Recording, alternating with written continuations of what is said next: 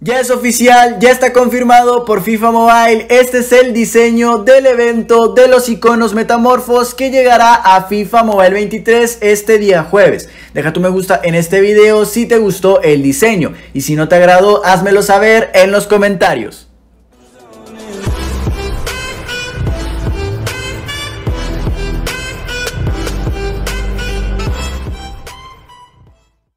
En el video del día de hoy vamos a estar viendo la tier list definitiva de los mejores extremos dentro de FIFA Mobile 23. Y cuando hablo de extremos estoy hablando de extremos izquierdos y también extremos derechos. En esta tier list vamos a estar categorizando al peor y al mejor extremo izquierdo o extremo derecho de todo el FIFA Mobile. Y cabe aclarar, hay más de 100 cartas, así que ponte muy cómodo porque este video va a ser algo largo. Ya sabes que dejando tu me gusta en este video y suscribiéndote al canal me apoyas muchísimo y así puedo llegar a hacer más de estas tier list con diferentes posiciones. Así que ya lo sabes, apóyame porque en verdad esto me ayuda un montón.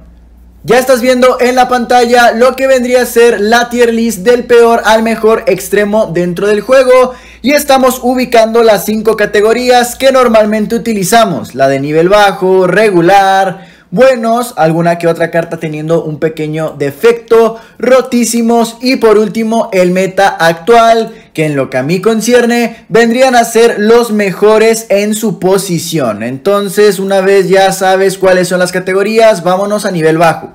Categoría en donde vamos a ver cuatro cartas. Vamos a estar viendo primero que todo a Elanga GRL 104 del evento de los faroles. Buenos números, pero lastimosamente tiene 3 de skills y 3 de pierna mala. Cabe aclarar de que es fundamental tener como mínimo 4 de filigranas, ya que al jugar por la banda realmente siento que se ocupan. Entonces el Anga tiene 3 de skills y no solo eso, también 3 de pierna mala. Aparte no sé, la resistencia no me convence. O creo que era el físico, no recuerdo, pero el Anga es malísimo. Luego vamos a ver dos cartas del evento del Team of the Week para sorpresa de nadie, dado el caso de que pues las cartas de este evento normalmente llegan al juego con muy malas estadísticas y con ello lógicamente un rendimiento bajo. Ya por último vamos a ver a Terrier del Toti GRL 101 que va a tener el mismo error, lo mismo que tiene malo que tiene el propio Langa, que es tener 3 de skills y también 3 de pierna mala. Para la categoría de regular vamos a estar viendo diferentes cartas. Pero atentos, porque que sean de la categoría regular no quiere decir que sean del todo malos. Jeremy Pino del Future Stars tiene 3 de skills y creo que llega a tener, creo, quizás el perfil cambiado. Bueno, quiero decir, el 4 de pierna mala se le nota bastante. Luego vamos a ver a Marco Royce de GRL 105, carta del evento UCL no del actual, sino del de antes y pues realmente ya se va quedando atrás. Aparte no es muy rápido que digamos. Y le pasa lo mismo a Thomas Müller, que no es un extremo derecho muy rápido. Recordemos, si vas a jugar por la banda, creo también es muy importante llegar a ser veloz. Entonces, recapitulemos que Jeremy Pino tiene poco físico, 3 de, eh, de, skills, 4 de pierna mala. Royce y Müller pues ya están pasados de estadísticas, es decir, se están quedando atrás. Y aparte son lentos. Luego vamos a ver a esta carta del Future Stars que tiene 3 de filigranas. No me llega a gustar del todo y por eso está en esta categoría Buen día tiene estadísticas ya también eh, oxidadas, por así decirlo, al igual que Carrasco y Sané. Aunque cabe aclarar de que estas dos cartas del evento de la UCL como que todavía podrían llegar a estar en el apartado de buenos. Creo que estoy siendo un poquito injusto con estas dos cartas, pero de cualquier manera siento de que o en buenos teniendo como efecto que no son solo mejores en estadísticas o en regular y van a quedar bien. Entonces dejémoslo ahí. Ya por último vemos a Plea que para ser extremo izquierdo también es bastante lento. En la categoría de buenos, pero algunas de estas cartas teniendo uno que otro defecto, vamos a llegar a tener diferentes cartas. Eh, primero que todo, Garnacho Future Star GRL 108. Estadísticas tremendas, pero con el defecto de tener 3 de skills y 4 de pierna mala. Gabriel Martinelli es muy veloz, demasiado ágil, pero tiene 3 de pierna mala. Marco Asensio no está nada mal, de hecho me llega a gustar pero siento de que el físico como que le falla, al igual que la Mela que llega a tener ahí también complicaciones en ese aspecto y en su body type. Politano cuenta con un mal refuerzo de habilidad, pero sinceramente creo que sí podía estar un poquito más arriba. De todas maneras, vamos a mantenerlo en este margen de esta categoría. Después vemos a Phil Foden, GRL 106, carta del evento de los Toti. Este que llega a tener lastimosamente el perfil cambiado, es decir, su pierna mala está en la derecha y pues normalmente con un tiro de calidad o tiro cruzado va a tirar con su 4 de pierna mala. Creo que lo demás también no llega a ser este, tan defectuoso, más que si el físico, el body type no me gusta del todo. Eh, Chiesa GRL 106, estadísticamente al igual que Forsberg, está bastante bien ponerlos en esta categoría. Lozano, mismo problema que el propio Foden solo que por la otra banda, es decir, tiene el perfil cambiado. Y pasa literalmente lo mismo con este Lucas Moura. Saniolo, la verdad, no es una mala carta. Sin embargo, llega a ser un jugador que como para el body type que maneja, no es el más ágil de todos y realmente se me hace algo grande, entonces puedes sentirlo un poquito tosco al momento de regatear con él. Vamos a ver tres cartas del evento de la World Cup. Sterling, que tiene un mal refuerzo de habilidad y un físico que no va del todo bien.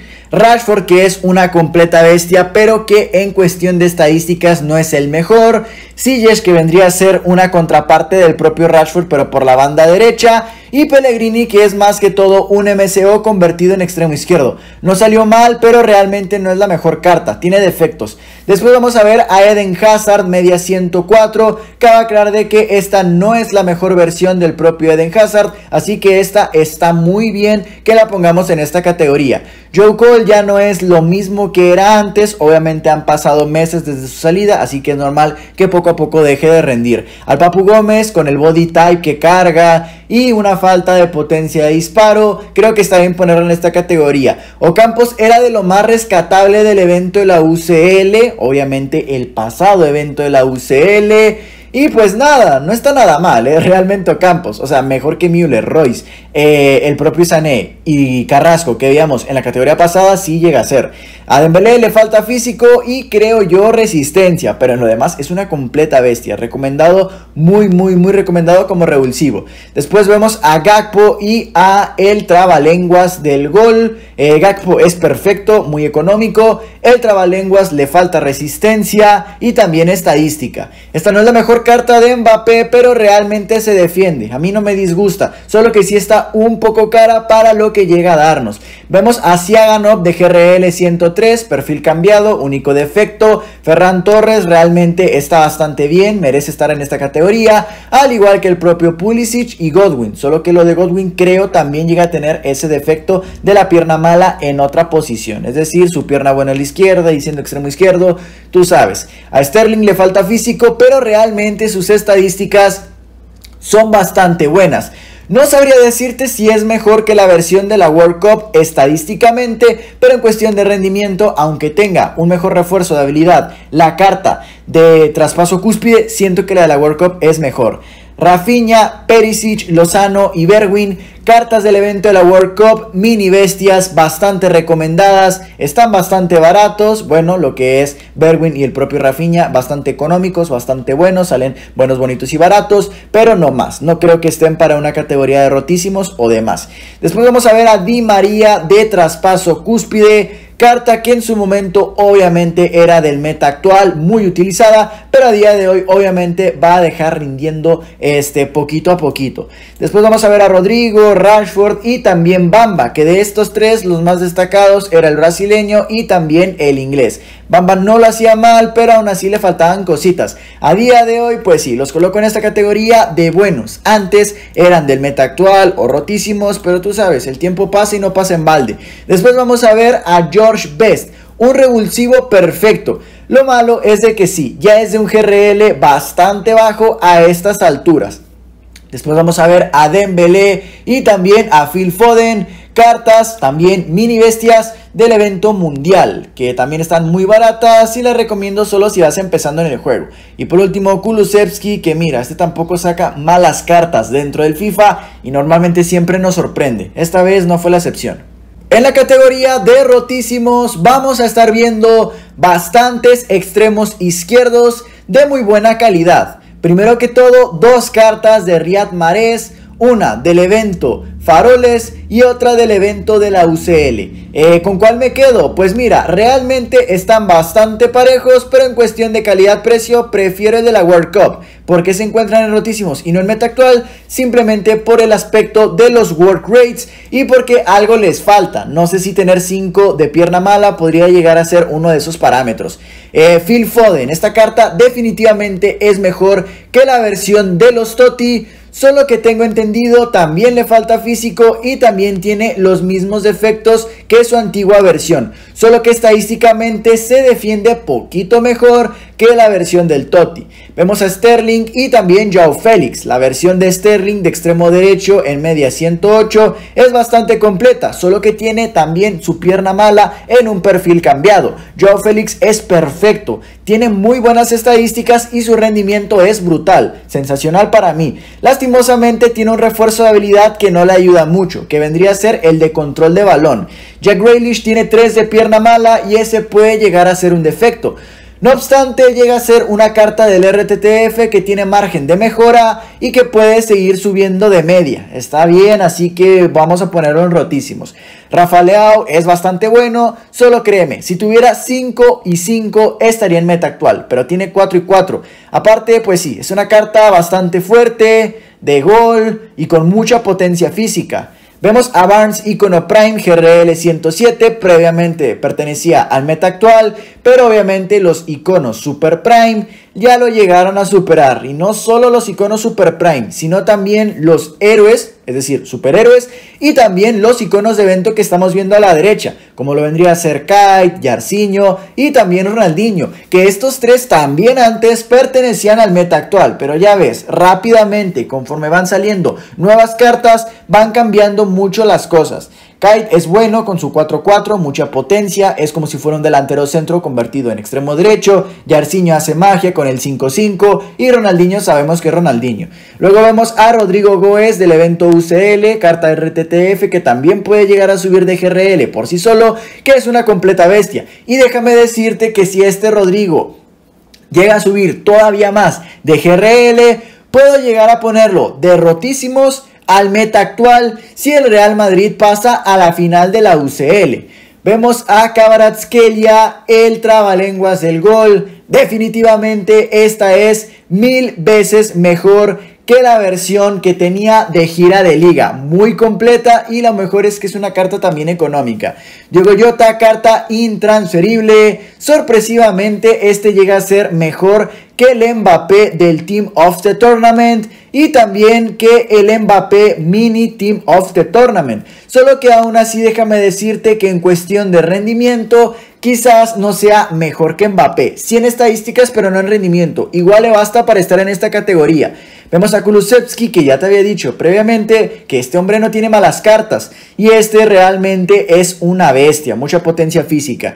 Vemos a Vini, Son, Mbappé y Mané del evento de la World Cup. Estadísticamente ya no son del meta actual, pero siguen rindiendo bastante bien, tanto para estar en la categoría de rotísimos. Revich es una completa locura, es muy fuerte y es como tener a un delantero centro en la banda izquierda, siendo bastante potente y teniendo buena pierna mala y regate. Y pasa literalmente lo mismo con el propio Sorlot, pero en la banda derecha. Tiene 5-5, por el amor de Dios, es completísimo. Y ya después vamos a ver a Saka, que de todas las mini bestias que estaban en el evento de la World Cup, esta llega a ser mi favorita, ya que corre mucho y tiene efecto handicap. Finalmente hemos llegado a la categoría del meta actual en donde aquí están los mejores extremos de todo el juego. Y vamos a empezar con Ronaldinho, icono Super Prime, que creo yo no tendría que dar detalles de por qué es el mejor en su posición. Pues es un icono Super Prime. Tiene media 112, 55 Y pues bueno, las estadísticas súper infladas y un rendimiento excepcional.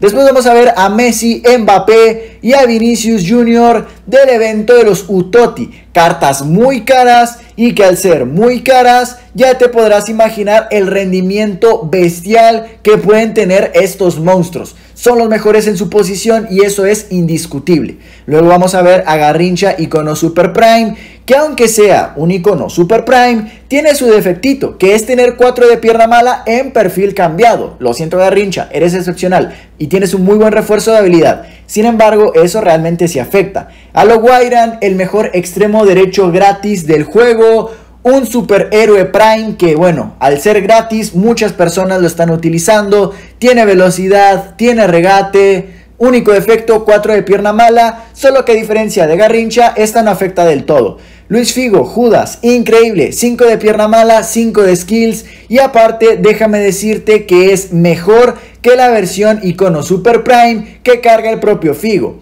Thierry Henry, el extremo izquierdo rapidísimo por excelencia con mucha aceleración y un disparo brutal, muy recomendado. Luego vemos Alexis Sánchez, GRL 110, carta Food Fantasy, que creo yo sería la primera carta de este evento que vemos en esta tier. Es muy completo este Alexis, es bastante bestia, o sea, está brutal.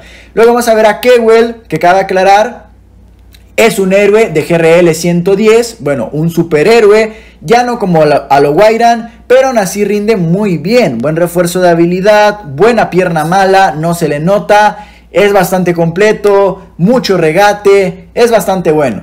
Después vamos a ver a Vini Junior, carta que pues actualmente es gratis. Y mira, si es gratis, si te lo regalan, pues oye, eh, se agradece, es muy rápido, tiene skill, tiene pierna mala, sabemos de lo que es capaz Vini en cualquier carta. Messi y Salah tienen muy buenas cositas, solo que Salah sí me gusta más que Messi por el tema del físico y también la resistencia, pero igual dos muy buenas cartas que sin lugar a dudas son del meta actual. Luego otras dos cartas del evento Foot Fantasy, uno por la banda izquierda y otro por la banda derecha. Eden Hazard con refuerzo de habilidad de velocidad es una locura, se maneja muy bien, 5-5 si mal no me equivoco, buen regate, buen físico, es bastante bueno. Después Anthony que mejorado, es muy rápido, de mucho regate, este literalmente se maneja solo. Luis Figo, icono Super Prime. Cabe aclarar de que no es el mejor extremo derecho, aunque sea un icono super prime. Por ejemplo, puedo darte de que el propio eh, Guairan le llega a superar, o que el propio Alexis Sánchez Food Fantasy le llega a superar, pero igualmente le da lo suficiente para estar en el meta actual y sí, seguir siendo de los mejores en su posición. Neymar tiene 5 de skills y 5 de pierna mala. Un físico que no me agrada, pero buenos work rates. Y aparte, pues bueno, las cartas de Neymar normalmente están muy chetadas. Rafa Leao, GRL 108, eh, work rates que me llegan a gustar. Buen body type, completísimo. Mejor que su versión de los Toti, para mí sí. Luego vemos a Sonaldo. Atentos con Hyun Son del evento de los Toti 5-5. Muchísima agilidad, mucho regate, fácil de manejar. Es espectacular, me encanta. Eh, después vemos a Salah y a Vinicius. Ya habíamos visto a Vinicius en la versión UCL y también en la versión UTOTI. No podía faltar la TOTI. Y a Salah lo vimos en su versión UCL y esta también es, o sea, una... Eh, eh, Dios mío, es que no puedo. Salah es buenísimo en todos los aspectos. Vamos a ver dos cartas del Team of the Tournament. GRL 108, tanto Mbappé y Messi me parece que todavía valen la pena, todavía siguen rindiendo y todavía pertenecen al meta. Eh, son, ya habíamos visto su versión Toti, esta creo yo sinceramente que no es mejor, pero igual sí es del meta. Después Neymar nuevamente está siendo también inferior a la versión de la UCL.